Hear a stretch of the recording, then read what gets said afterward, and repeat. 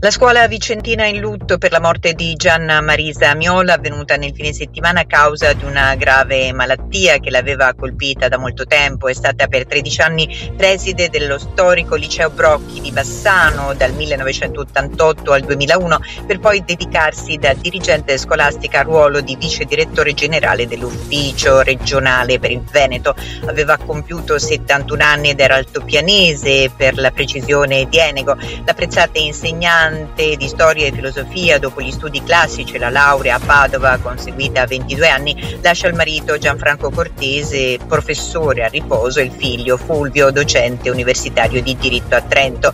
Nel secolo scorso aveva raggiunto notorietà oltre i confini del Veneto per essere stata la più giovane preside d'Italia, ruolo ricoperto al liceo Manara Valgimigli di Montebelluna nel Trevigiano, prima di passare al Brocchi assumendo lo stesso prestigioso incarico in uno degli istituti più rinomati. Il suo impegno nel settore della pubblica istruzione le è valso l'onorificenza di Cavaliere all'Ordine al Merito della Repubblica Italiana nel 1999.